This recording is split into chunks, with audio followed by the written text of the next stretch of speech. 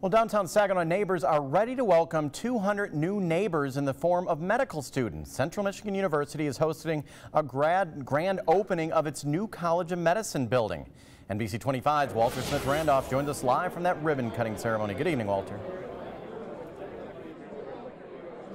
Good evening, Dave. We are here at the Central Michigan University College of Medicine grand opening. Take a look right behind me. CMU and Saginaw City leaders are taking their first tour of the new building. They're hoping this is the first of many partnerships between CMU and the city of Saginaw. Now, this building is located off of Cooper Avenue, directly across the street from Covenant Healthcare on Michigan Ave. Construction started back in 2013, getting this building ready for the 200 CMU medical students who will attend classes here and work at the hospital across the street.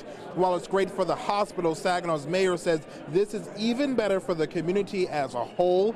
He's expecting a big economic boost for the downtown area as well as the rest of Saginaw. In two years, we'll have anywhere close to 200 medical students. Now, they need housing, they're going to need uh, uh, food, and, and so all that plays into the economic development of our community.